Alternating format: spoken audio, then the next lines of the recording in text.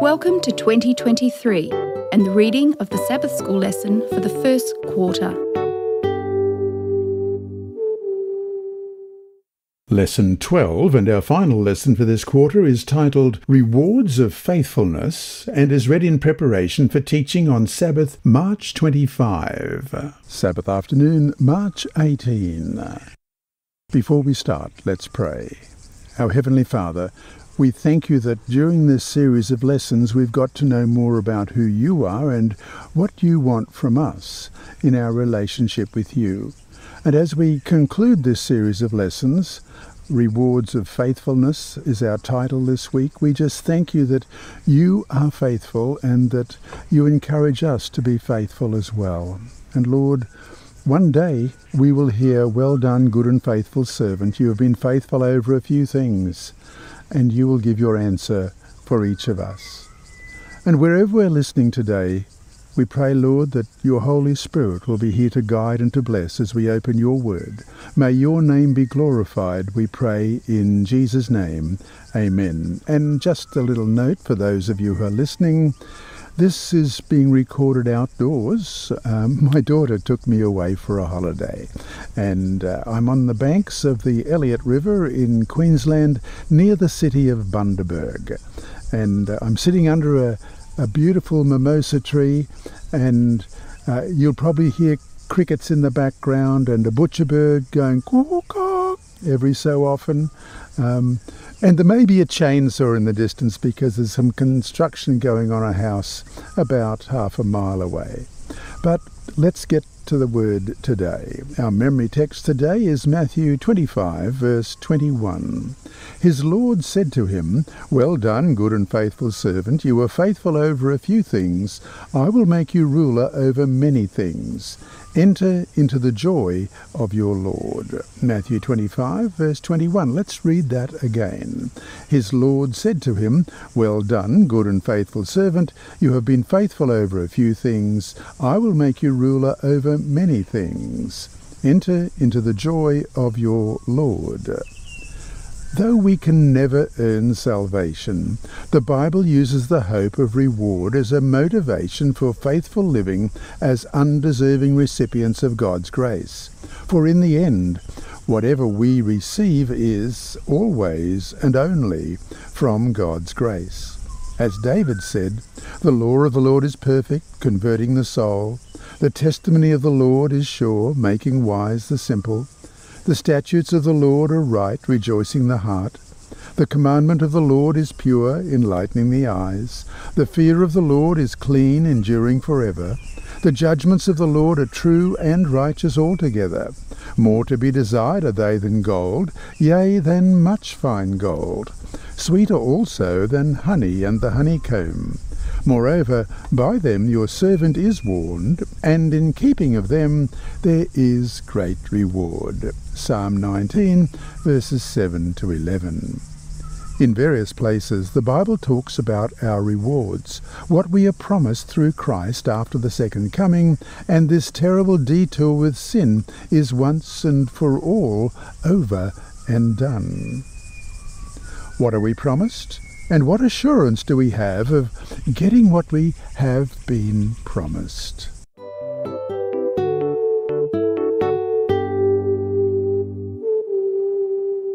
Sunday, March 19. Uh, reward for faithfulness. Read Hebrews chapter 11 and verse 6. What should this verse mean to us? How should we respond to what it says? Also read Revelation 22 verse 12, Isaiah 40 verse 10, and Isaiah 62 verse 11. What do all these texts teach us? First of all, Hebrews 11 verse 6. But without faith it is impossible to please him. For he who comes to God must believe that he is, and that he is a rewarder of those who diligently seek him. And then we look at Revelation 22 and verse 12.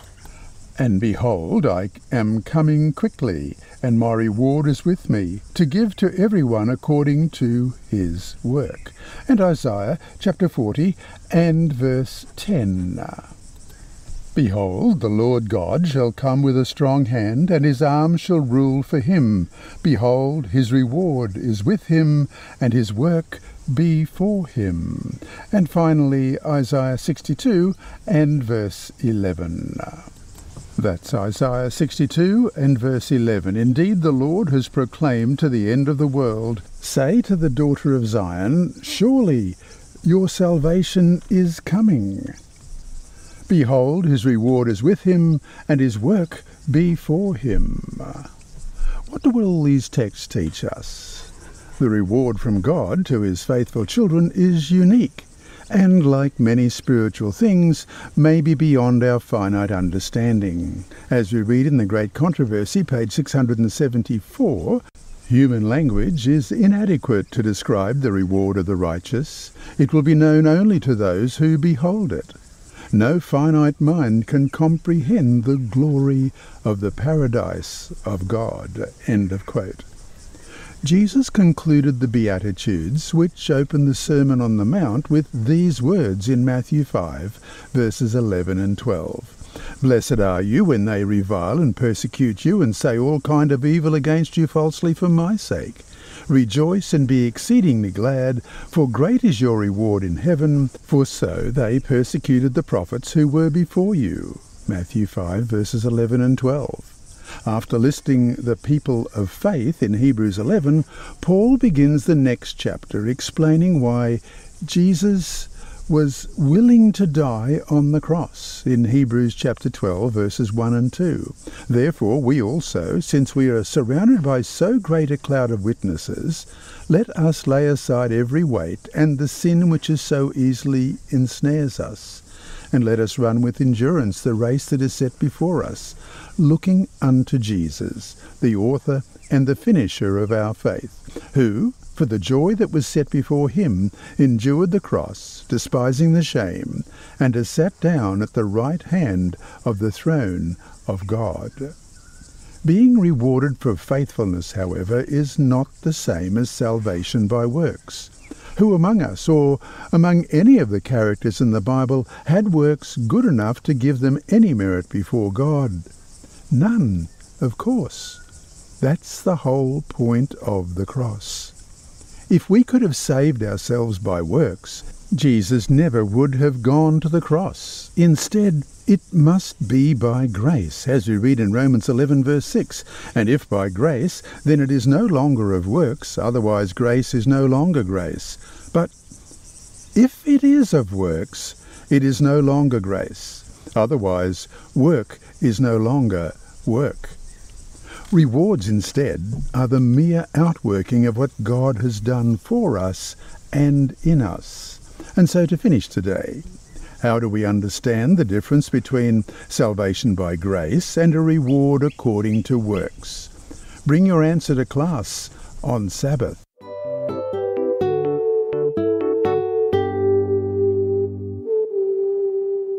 Monday, March 20 everlasting life. And today we're back in the studio at home. It's much quieter here. As human beings, and whether we like it or not, an eternity awaits us. And according to the Bible, this eternity will come in one of two manifestations, at least for each of us individually either eternal life or eternal death. That's it no middle ground, no straddling a bit one side or another. Instead, it is one life or the other death. This truly is a case of all or nothing. Read Romans 6:23 and John 3:16 what options are presented to us. Romans 6:23 For the wages of sin is death, but the gift of God is eternal life in Christ Jesus our Lord.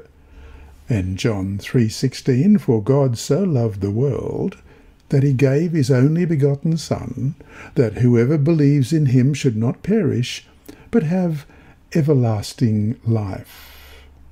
It is hard to imagine two starker or more distinct choices, isn't it? chances are that if you're reading this, you have chosen eternal life, or certainly are thinking about it. God has the unique ability to do whatever he says he can do, to fulfill all his promises. Our part is simply to believe him, rest upon the merits of Jesus, and by faith obey his word. Read John 14, verses 1 to 3. What is the Lord's counsel to us in verse 1? And what does he promise to us in verses 2 and 3? John 14, beginning at verse 1. Let not your heart be troubled. You believe in God, believe also in me. In my Father's house are many mansions. If it were not so, I would have told you. I go to prepare a place for you, and if I go and prepare a place for you, I will come again and receive you to myself, that where I am, there you may be also. In the final days of his earthly ministry, Jesus spoke these amazing words of hope and courage to his disciples. These words would lift their spirits in times of discouragement and trial. They should do the same for us. Jesus came from heaven, went back to heaven, and has promised us in John 14, verse 3 I will come again, and I will receive you unto myself, so you can be with me there. And perhaps more than anything else, Christ's death on the cross at his first coming is our greatest assurance of his second coming, for without the second coming, what good was his first one? As sure as we are that Jesus died for us on the cross, is as sure as we can be that, yes, as he promised, I will come again and receive you to myself, that where I am, there you may be also. Dwell upon the idea that Christ's first coming is the guarantee of his second. What happened at this coming that makes his second a promise that we can trust?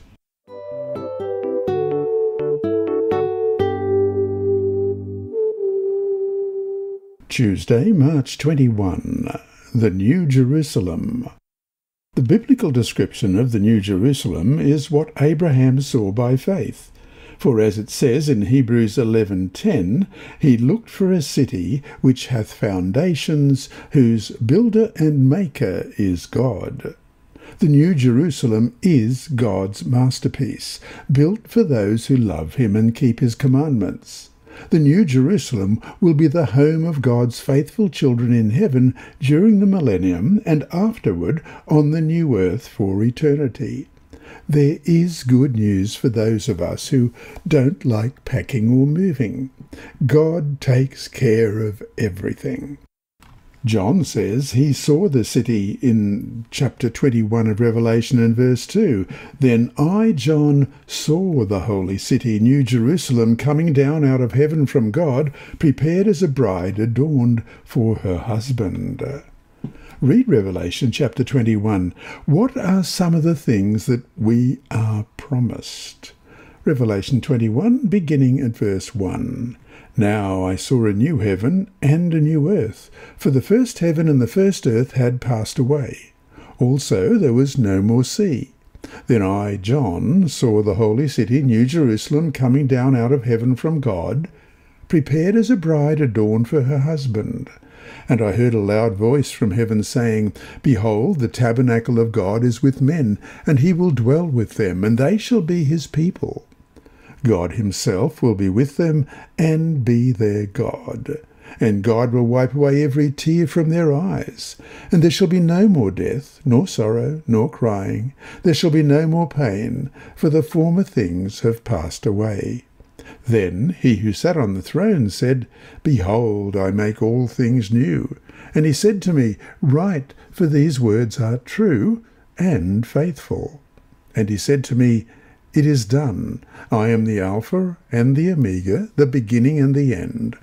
I will give of the fountain of the water of life freely to him who thirsts.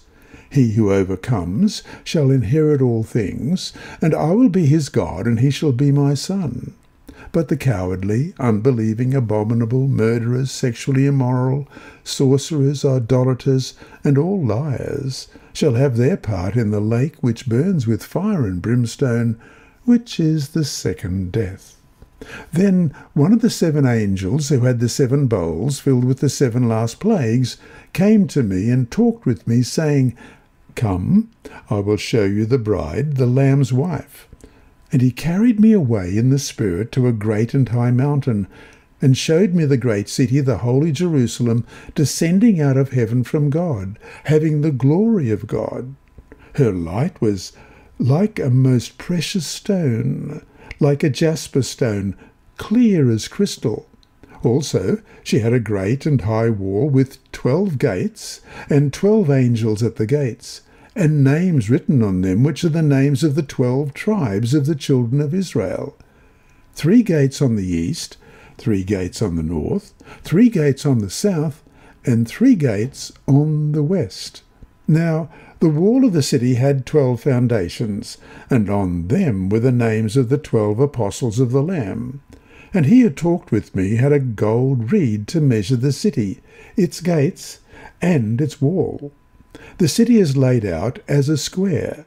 Its length is as great as its breadth. And he measured the city with the reed, twelve thousand furlongs. Its length, breadth, and height are equal. Then he measured its wall, one hundred and forty four cubits, according to the measure of a man, that is, of an angel. The construction of its wall was of jasper, and the city was pure gold, like clear glass. The foundations of the wall of the city were adorned with all kinds of precious stones. The first foundation was jasper, the second sapphire, the third chalcedony, the fourth emerald, the fifth sardonyx, the sixth sardius, the seventh chrysolite, the eighth beryl, the ninth topaz, the tenth chrysoprase, the eleventh jacinth, and the twelfth amethyst. The twelve gates were twelve pearls.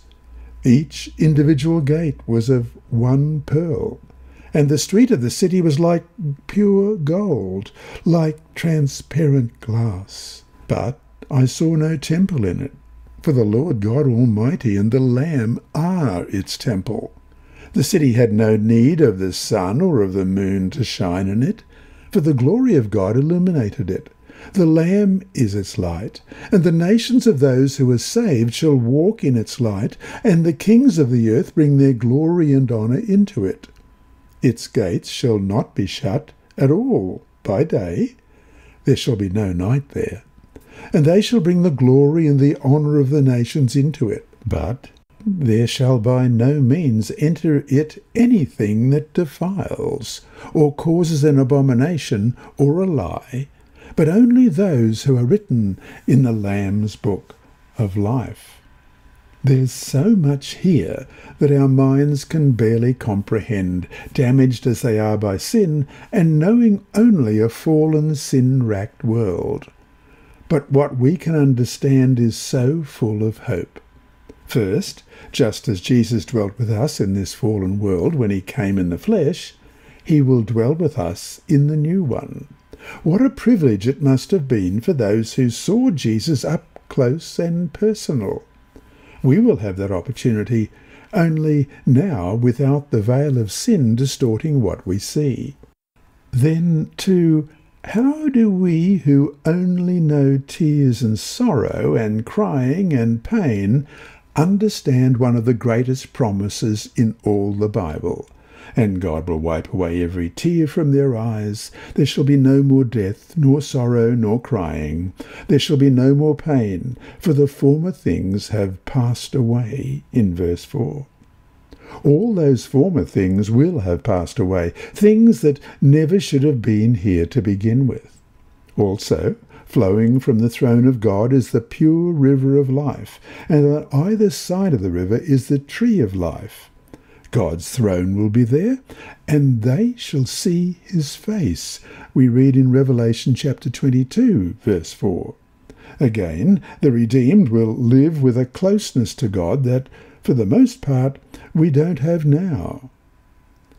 So to finish today, read Revelation 21, verse 8, about the fate of those who will face the second death. Let's read that before we continue. But the cowardly, unbelieving, abominable, murderers, sexually immoral, sorcerers, idolaters, and all liars shall have their part in the lake which burns with fire and brimstone, which is the second death. Which sin of those depicted there could not have been forgiven by Jesus? Why, then, are these people lost when some who have done the same things are saved? What is the crucial difference between these two groups?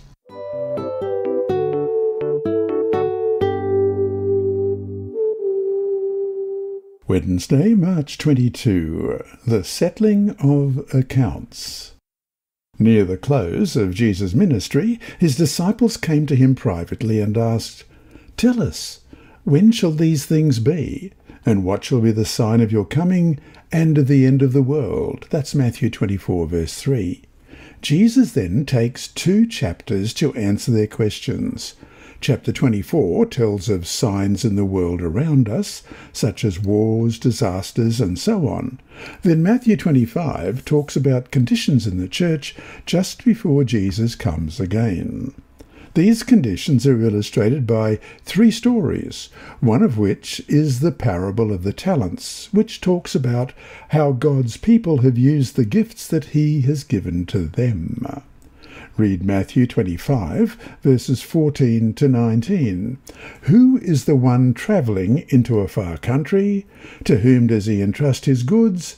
What does it mean to settle accounts, as it says in verse 19? Well, let's start at verse 14. For the kingdom of heaven is like a man travelling to a far country, who called his own servants and delivered his goods to them. And to one he gave five talents, to another two, and to another one, to each according to his own ability. And immediately he went on a journey.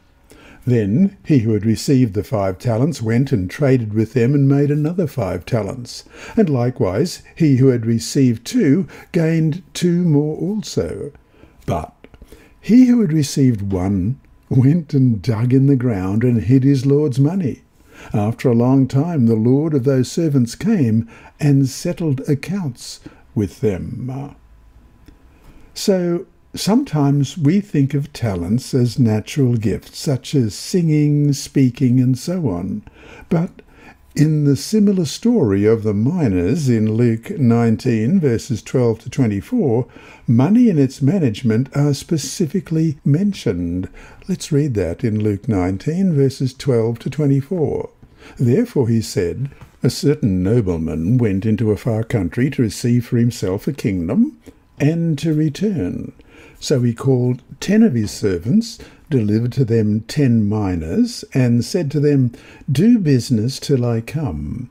But his citizens hated him and sent a delegation after him, saying, We will not have this man to reign over us. And so it was that when he returned, having received the kingdom, he then commanded these servants to whom he had given the money to be called to him, that he might know how much every man had gained by trading. Then came the first, saying, Master, your mina has earned ten minas. And he said to him, Well done, good servant, because you were faithful in a very little, have authority over ten cities. And the second came, saying, Master, your mina has earned five minas. Likewise he said to him, You also be over five cities. Then another came, saying, Master, here is your mina, which I have kept put away in a handkerchief. For I feared, because you are an austere man, you collect what you do not deposit, and reap what you do not sow. And he said to him, Out of your own mouth I will judge you, you wicked servant. You knew that I was an austere man, collecting what I did not deposit, and reaping what I did not sow. Why then did you not put my money in the bank? That at my coming I might have collected it with interest. And he said to those who stood by, Take the mina from him, and give it to him who has ten minas.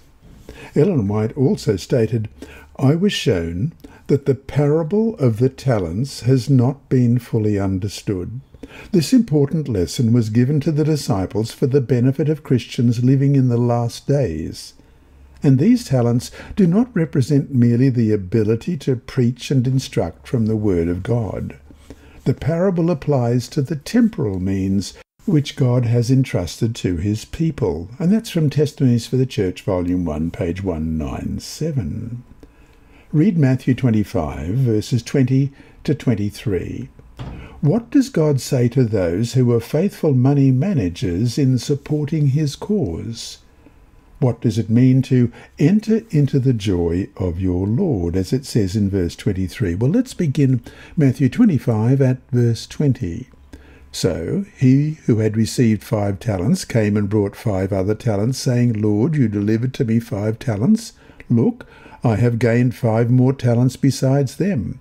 His Lord said to him, Well done, good and faithful servant. You were faithful over a few things. I will make you ruler over many things. Enter into the joy of your Lord. He also, who had received two talents, came and said, Lord, you delivered to me two talents. Look, I have gained two more talents beside them. His Lord said to him, Well done, good and faithful servant. You have been faithful over a few things. I will make you ruler over many things. Enter into the joy of your Lord. It is quite natural for us to think that another person has more talents than we have, and is therefore more responsible to God. In this story, however, it is the person with only one talent, the least money, who proved unfaithful and lost the kingdom. Rather than to think of the responsibilities of others, let us focus on what God has entrusted to us and how we can use it to His glory.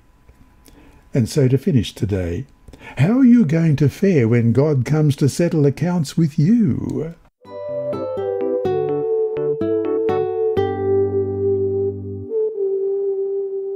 Thursday, March 23. Eyes on the prize. After Paul's conversion, he dove fully into the cause of Christ. Because of his education and sharp mind, he could have been very successful from a worldly perspective. Like Moses, Paul chose to suffer with God's faithful children and for the sake of Christ. He suffered beatings, stonings, prison, shipwreck, hunger, cold, and more, as recorded in 2 Corinthians chapter 11 verses 24 to 33. How was he able to endure all of this? Let's read 2 Corinthians 11 24 to 33. From the Jews, five times I received forty stripes minus one. Three times I was beaten with rods. Once I was stoned. Three times I was shipwrecked. A night and a day I've been in the deep. In journeys often, in perils of waters, in perils of robbers, in perils of my own countrymen, in perils of the Gentiles, in perils in the city, in perils in the wilderness, in perils in the sea, in perils among false brethren, in weariness and toil, in sleeplessness often, in hunger and thirst, in fastings often, in cold and nakedness, besides the other things, what come upon me daily, my deep concern for all the churches, who is weak, and I am not weak? Who is made to stumble, and I do not burn with indignation? If I must boast, I will boast in the things which concern my infirmity. The God and Father of our Lord Jesus Christ, who is blessed for ever, knows that I am not lying. In Damascus, the governor under Aretas the king was guarding the city of the Damascenes with a garrison, desiring to arrest me, but I was let down in a basket through the window in the wall and escaped from his hands. Read Romans chapter 8, verses 16 to 18. How was the knowledge that he was a child of God a factor in his faithfulness? Romans 8, beginning at verse 16. The Spirit Himself bears witness with our spirit that we are children of God, and if children, then heirs, heirs of God, and joint heirs with Christ, if indeed we suffer with Him, that we may also be glorified together. For I consider that the sufferings of this present time are not worthy to be compared with the glory which shall be revealed in us. The value Paul placed on the reward of the faithful is what kept him excited about suffering for Christ. He wrote from prison in Philippians chapter 3 verses 13 and 14, Brethren, I do not count myself to have apprehended, but one thing I do, forgetting those things which are behind and reaching forward to those things which are ahead, I press toward the goal for the prize of the upward call of God in Christ Jesus. Read 1 Timothy chapter 6 verses 6 to 12 which we have looked at already but is worth coming back to. What is the crucial message in these verses, especially for us as Christians? So, the sixth chapter of 1 Timothy, and we begin at verse 6. Now, godliness with contentment is great gain, for we brought nothing into this world, and it is certain we can carry nothing out. And having food and clothing, with these we shall be content. But those who desire to be rich fall into temptation and a snare, and into many foolish and harmful lusts, which drown men in destruction and perdition. For the love of money is a root of all kinds of evil, for which some have strayed from the faith in their greediness, and pierced themselves through with many sorrows. But you, O man of God, flee these things, and pursue righteousness, godliness, faith, love, patience, gentleness. Fight the good fight of faith, lay hold on eternal life, to which you were also called, and have confessed the good confession in the presence of many witnesses. From the biblical perspective, prosperity is having what you need when you need it. It is not the accumulation of possessions. Prosperity also is claiming the promise of God in Philippians 4:19, "My God shall supply all your need according to his riches in glory by Christ Jesus." Finally, prosperity is to be thankful for what you have in the Lord and trust in him in all things. God does not promise his children that they will all be rich in this world's goods. In fact, he says that all who live godly lives shall suffer persecution. What he does offer is better than any worldly wealth. He says, I will supply your needs, and wherever you go, I will be with you. Then, in the end, he will give his faithful ones true wealth and responsibility and eternal life. What an awesome reward! Near the end of his life, Paul was able to say, For I am now ready to be offered, and the time of my departure is at hand. I have fought a good fight. I have finished my course. I have kept the faith. Henceforth there is laid up for me a crown of righteousness, which the Lord, the righteous judge, shall give me at that day, and not to me only, but unto all them also that love his appearing. 2 Timothy chapter 4, verses 6 to 8. May we all through God's grace, be able to say the same thing and with the same assurance as well.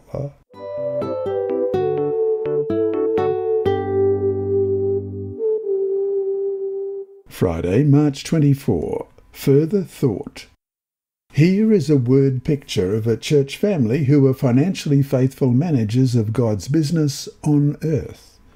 The stewardship vision for Seventh day Adventist churches around the world.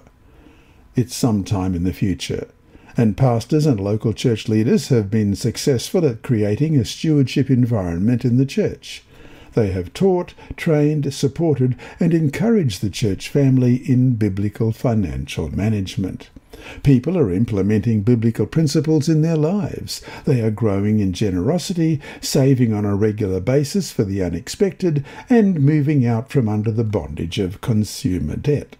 Their lifestyles are marked by moderation, discipline, and contentment. Money has been eliminated as the rival God, and they are growing in their relationship with the Creator God. It's Sabbath morning, and people are arriving for services. In their demeanour is a sense of peace, a lack of anxiety over financial matters, a pervading sense of contentment and gratefulness. Marital conflict over money has been largely eliminated. They enter worship with a sense of anticipation and expectation of God's presence and work among them.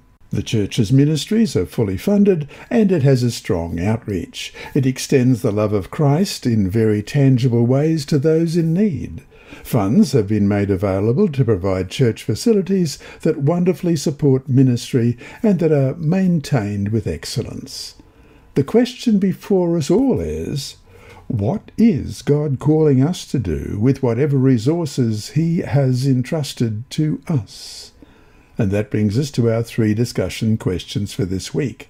One, in class, talk about the question of how we are to understand two very clear biblical teachings salvation by faith and a reward according to works. How do we harmonize these two concepts?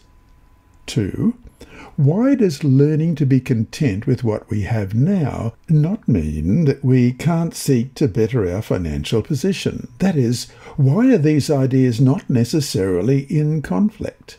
And three, there is no question that eternity awaits us. What choices do we make now, even little ones, that will help determine where we will spend that eternity?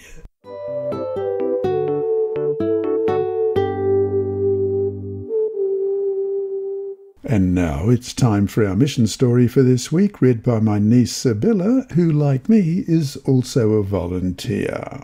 Thank you, Sibylla. Treasure in Old Vessels by John Kakanzi.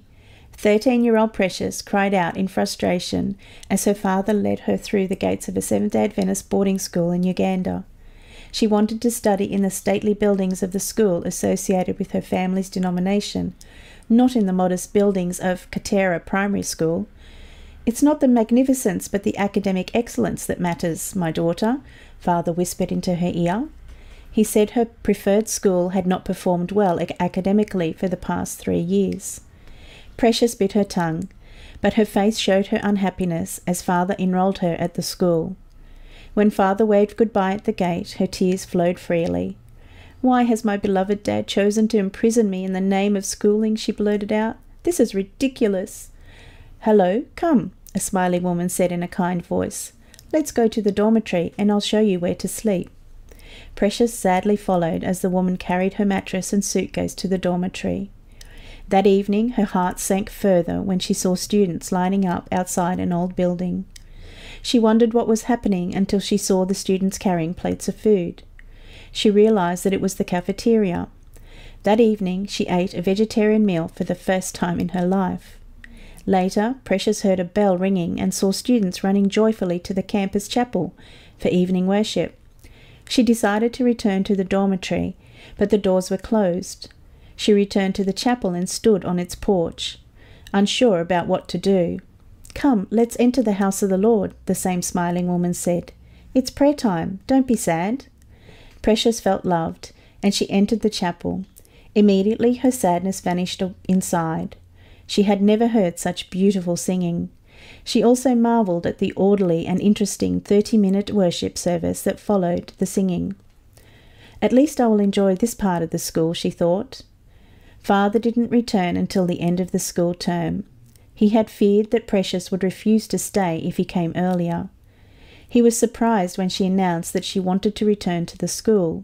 She said she did not want to miss the kind teachers who began every lesson with a prayer and a Bible text, and who offered practical advice whenever she faced challenges.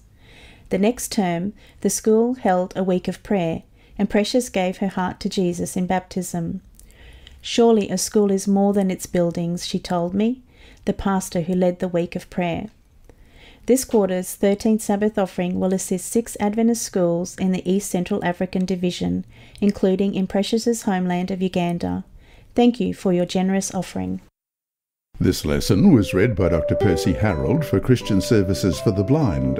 Sponsored by the Sabbath School Department and distributed through Hope Channel Australia, this podcast is also redistributed by Hope Channel Germany, Christian Record Services for the Blind. It is also available on SoundCloud and through multiple podcast distributors, including Apple iTunes. And you can listen and watch at the same time on YouTube. Remember, God is always faithful. And here is a disclaimer. Contents of these lessons are not intended to be financial advice, but is general commentary based on biblical principles. The reader is encouraged to seek competent professional advice which will suit their particular personal situation.